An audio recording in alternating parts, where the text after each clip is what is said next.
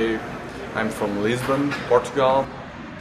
Well, I think they they done quite a few improvements. It's a, a big step forward. And once again, what I like it more, it's the sign that they are giving to the customers that Informix database is alive and well, and it's gonna keep be improved. So, what do you think of Cheetah? I think it's awesome that IBM sees so much potential with the IDS product and that they're putting so much resources and effort and bringing out with new releases. It's amazing. It can't, I can't imagine how such a great product can get better. Uh, my name is Andrew Ford, and I work for Network IP. We're a telecom company based out of Longview, Texas. It's good. It's cool. I like a lot of the new features, and I think it's really good that IBM is like uh, investing all the time and money into like extending the product into like a new version so soon. It's only been two years since version 11. Version 10 came out, so it really shows their dedication to the product. Bonjour Daniel. Bonjour Georges. Cheetah, c'est une nouvelle version qui va, qui va amener, euh, qui va amener un, un, nouveau un momentum. It's a really amazing new, new product, new features. Uh, I believe that this will bring momentum to Informix and the Informix product line. And hopefully this will bring back, this confirms IBM's commitment to Informix and will bring back uh, some of the long-time Informix customers that may have gone uh, to competing technologies. Uh, yes, I've heard of Cheetah. And what do you think of Cheetah? Uh, haven't had any experience with Cheetah. I've, uh, the things that I've heard of, uh, sound very good for us. Um, there's a lot of things that I think we'll be able to put to use. Uh, some of them are some of the mon- new monitoring stuff, stuff that they've put in there. Uh, possibly some of the new replication features that they've included and they mentioned at this conference. Um, and uh, the availability pieces, uh, the, the checkpoint, no checkpoints, um, or the very lightweight checkpoints. I don't know what they're referring to it as from from a marketing perspective. Oh, really excited about it. Excited for a couple of reasons. One, it looks as though technically it's a very big release of Informix, but more importantly, I'm just excited that IBM is behind the product, is really taking the product to the marketplace, is putting money behind it for promotion, for advertising, and and making this a big thing because um, Informix is a it's a secret, very much and, and both inside IBM and inside the bulk of the development world. But it's a fantastic product, and people need to know about it and use it. We work for the Pennsylvania Continuing Legal Education Board in Pennsylvania, of course. Uh, actually, looking forward to the possibility of incorporating the XML features of Cheetah. We have uh, uh, some providers who do some XML files, and we do electronic file submission. And if they want to send them an XML, that'll give us another option of hopefully getting that data into our database.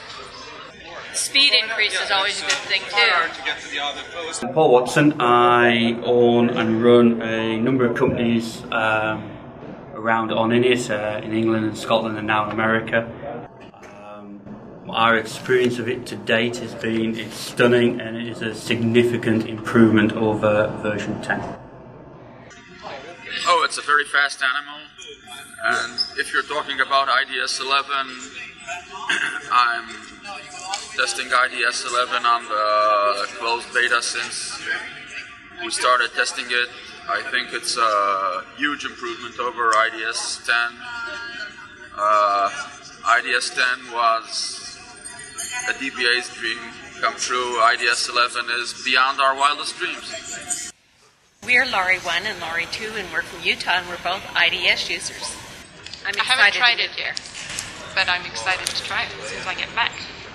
I'm looking forward to XML capabilities and the changing of no blocking checkpoints and the expanded um, archiving capabilities with ONTAPE.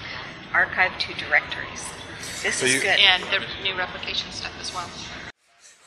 Hello from California. My name is Jerry Hamilton. The cheetah's one fast cat, baby. If you're not running with the fast cat, don't even get in the race. Cheetah is great, and uh, it, it, was uh, it was a, a, a very good step for, for the for the IDS. My name is Nancy Balsblatt, and I've worked with Informix for wow about 15 years now, uh, since about '92. Um, it looks like it's going to be a really great product. We're really excited about it, and we're really specifically interested in the non-blocking checkpoints. So that is your preferred cheetah feature? Yeah, I think so. That's probably one of the ones that's going to be a big hitter for us. My name is Daryl Priest, and for 10 years I've worked with um, Informix. I love Cheetah. I like cheetahs, I like cats, but I really like Informix Cheetah. It looks like the administration stuff has been fixed, technically, saying stuff, with uh, a nice, full function administrative GUI interface on the web. So is that your favorite cheetah feature? I think it probably has to be, because it will wow everybody. And what would be your favorite cheetah feature? Uh, you know, the biggest thing that has jumped out at me so far about Cheetah when I've sat down with the engineering guys is the IDS administration tool, to be honest. I haven't had a chance to give Cheetah a test run yet, but everything they've been saying is pretty interesting. But what I've seen the most and that I've liked the most is the new administration tool. The best feature I've seen from Cheetah is the ability to self-tune the instance, where we can not have to have hands-on at, a, at our very disparate client sites and have IDS or Cheetah self-tune itself to the loads of that particular of that particular instance.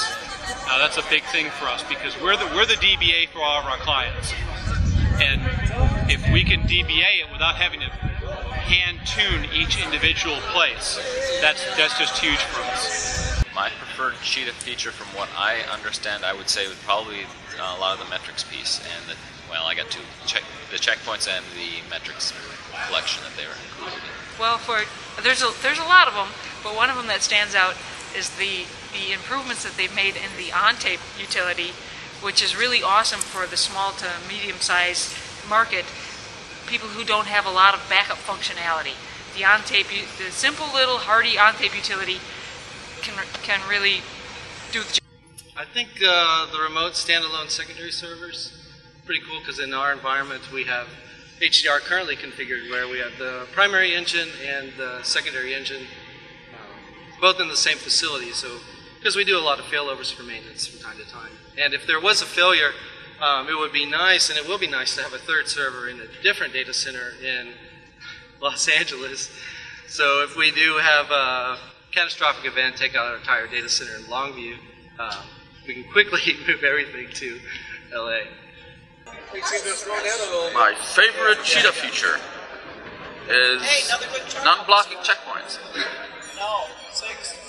Third cheetah feature for me will be the uh, autonomic tuning uh, and administration free database in that uh, customers who do not necessarily have uh, a lot of Informix expertise can rely on a very strong technology uh, that's very easy to use and very easy to administer. That's hard. We've heard Yeah. too many good features today. It's hard to choose. I'd have to think about that for a while. It's the LBAC stuff because I always needed to have row level permissions in the applications and normally I implemented inside the applications but the people that have SQL access never I never been able to, to handle that problem. And what is your favorite cheetah feature?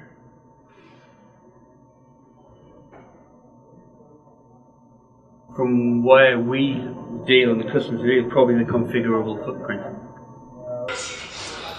The automatic recovery and uh, better better administration. That's that's the most important.